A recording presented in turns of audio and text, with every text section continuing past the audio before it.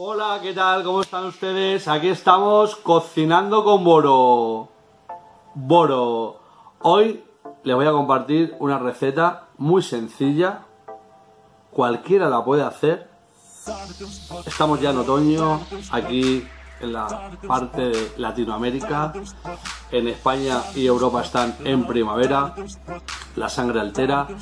Y nada, vemos y vamos con los guisos y los platos de cuchara y calentitos que tanto me gustan a mí.